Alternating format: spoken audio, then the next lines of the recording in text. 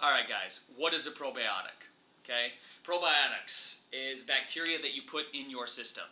Now, throwing down one to two billion uh, probiotics in your system a day may literally and figuratively seem like a little bit hard to swallow, but it's not at all. You see, I've been taking probiotics through the past three years. It's helped me deal with certain kinds of illness around like flu season and other things that are coming to being. When people say, oh, you're going to get sick if you do this, this, and this, I know that probiotics can help me with that. Now, let's figure out exactly what probiotics are. How does that sound? Let me pull up the Harvard Health Journal real quick, if you don't mind.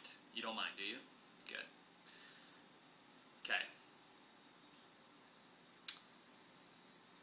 Pro and biota basically means for life. Okay? The human body is made up of millions and millions of cells of bacteria. So it is no wonder that actually adding certain types of bacteria to your diet can prevent different types of diseases and illness. It started off in Japan, according to the Family Health Guide in the Harvard Medical School, and then made its way all the way over here to the United States.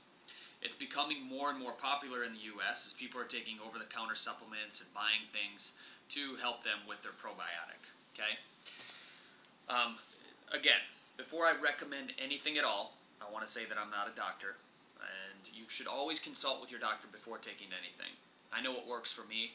Probiotics have definitely been an amazing thing, incorporation a part of my life. Many people have asked me, Drew, what probiotic should I take? And I always recommend a little probiotic called Green Vibrance.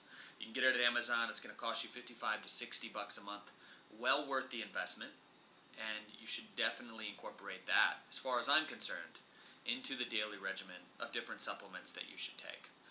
So, I'm Drew Canole, and this has been a FitLife.tv Q&A. I love dishing you out A's. So, if you want to send me an email to drew at FitLife.tv and you have questions that you need addressed, I'd be more than happy to make a quick video and educate you on what you can do to live a fitter life. Talk to you soon.